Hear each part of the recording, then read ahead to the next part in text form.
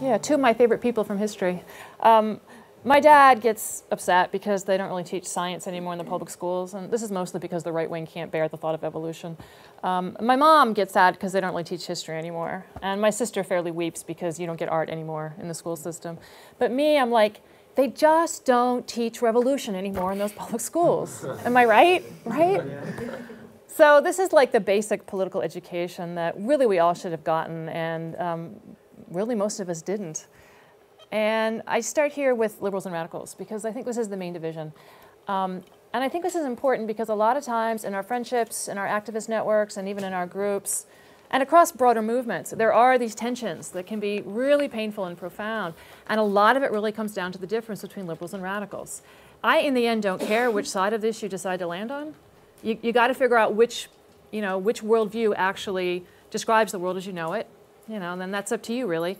But um, it can really help to understand where these different perspectives are coming from. Because then when you have these conflicts, suddenly you go, right, that's liberal and I'm radical, and that's why we're never going to meet in the middle. Because these are profound differences politically.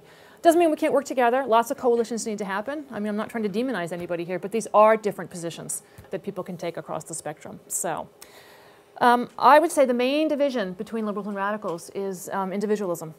Um, liberals believe that society is made up of individuals. That's the basic social unit. In fact, individualism is so sacrosanct that um, in this view, to be identified as a member of a group is seen as an affront. Okay, that's the insult. Um, totally different for radicals uh, over on the other side of the chart. Um, society is not made up of individual people, it's made up of groups of people. And in Marx's original version, this was class, it was economic class. And this is the debt that all radicals owe Karl Marx. It doesn't matter if you're a Marxist or not. He figured this out. It's groups of people, and some groups have power over other groups. And that's what society is made of. Um, so, in the radicals' understanding, being a member of a group is not an insult.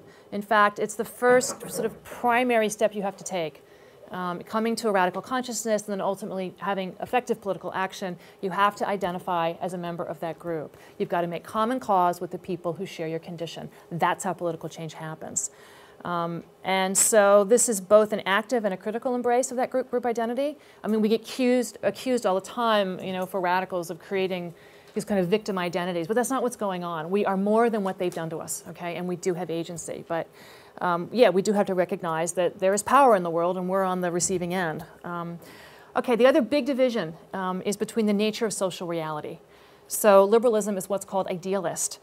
Um, social reality for them is made up of attitudes, of ideas. It's a mental event. Um, and therefore, social change happens through education, uh, through changing people's minds.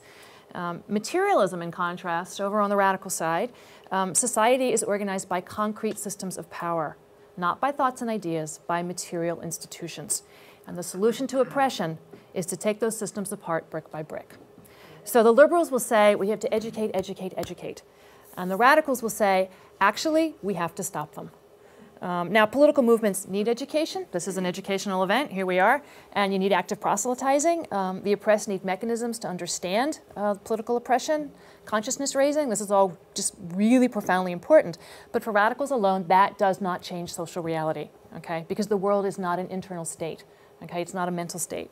The point of education is to build a movement that can take down those oppressive structures and uh, bring about some kind of justice. So if you remove power from the equation, oppression looks either natural or voluntary, right? If you're not going to see that people are formed by these social conditions, um, how else are you going to explain subordination?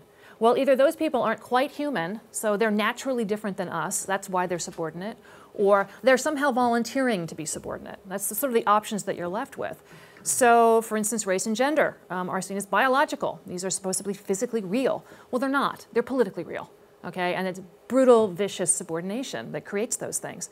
But it's ideology, and it's the ideology, of the powerful, that says this is biological. Um, they make that claim, okay, that this is biological, because how are you going to you know, fight God or nature or four million years of evolution? Well, you're not, right? Um, so yeah, I mean, there are physical differences between people who are from Northern Europe and people who live at the equator, just like there are differences between males and females. But those differences only matter because power needs them to. So it's power that creates the ideology, all right? And it's a corrupt and brutal arrangement of power.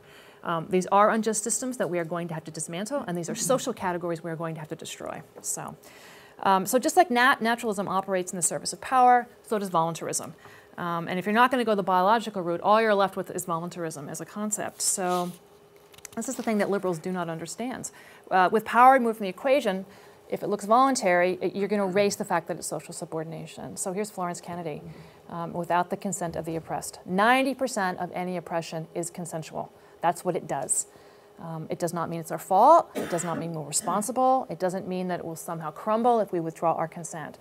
Um, all it means is that the powerful, so the capitalists, the white supremacists, the masculinists, whoever, they can't stand over vast numbers of people 24 7 with guns. Right?